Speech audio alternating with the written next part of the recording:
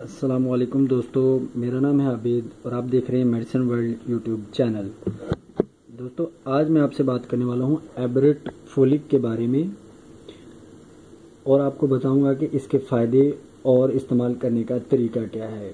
اس سے پہلے دوستو، اگر آپ نے ابھی تک میرا چینل سبسکرائب نہیں کیا تو چینل کو ضرور سبسکرائب کر لیں اور ساتھ بیل آئیکن کو بھی دبا دیں تاکہ ہر نئی آنے والی ویڈیو کا نوٹیفیکیشن آپ کو مل جائے اور آپ میڈیسن کے بارے میں معلومات حاصل کرتے رہیں۔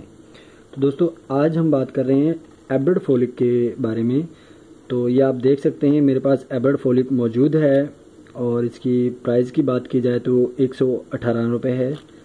تیس گولیاں اس کے اندر موجود ہیں پیک میں اور تیار کرنے والی کمپنی ہے جو وہ ہے ایبرٹ لیبارٹریز تو دوستو، اب بات کرتے ہیں اس کے فائدے کی کہ ایبرڈ فولک ہمیں کیا فائدے دیتی ہے۔ ایبرڈ فولک وٹامنز اور منرل سے بنا ایک uh, اچھا سیپلیمنٹ ہے جس میں ہمیں یہ آپ دیکھ سکتے ہیں، یہ وٹامنز ملتے ہیں۔ یہاں پہ وٹامن بی ون ہے vitamin B two B six B twelve vitamin C folic acid ferrous sulphate ہے کیلشیم پینتھونیٹ ہے۔ تو اوورال دوستو یہ ایک اچھا سپلیمنٹ ہے۔ اب اس کے استعمال کی بات کریں تو دوستو آپ اس کو پریگننسی میں ہونے والی خون کی کمی کے لیے استعمال کر سکتے ہیں۔ ایبرڈ فولک کو آپ چہرے سے پیلا پن ختم کرنے کے لیے استعمال کر سکتے ہیں۔ ایبرڈ فولک کو آپ ایلوپیشیا کے مرض میں استعمال کر سکتے ہیں۔ یعنی اگر آپ کے بال گرتے ہیں تو ایبرڈ فولک کافی حد تک ان میں کمی لائے گی۔ ایبرڈ فولک وقت سے پہلے آپ کے بالوں کو سفید نہیں ہونے دے گی۔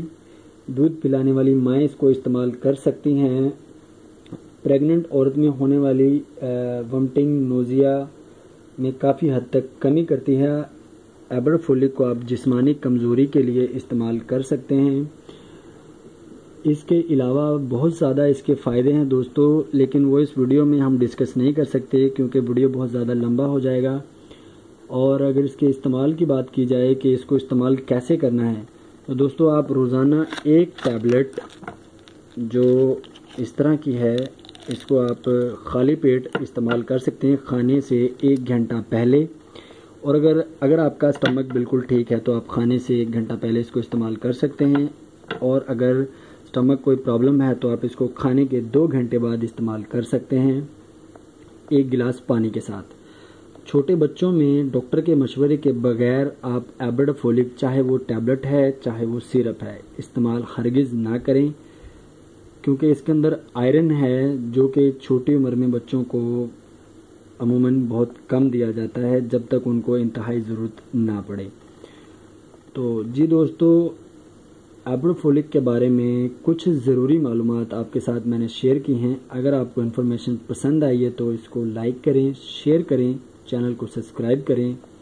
نیکسٹ ویڈیو میں پھر آپ کے پاس حاضر ہوں گا۔ اللہ حافظ۔ بائے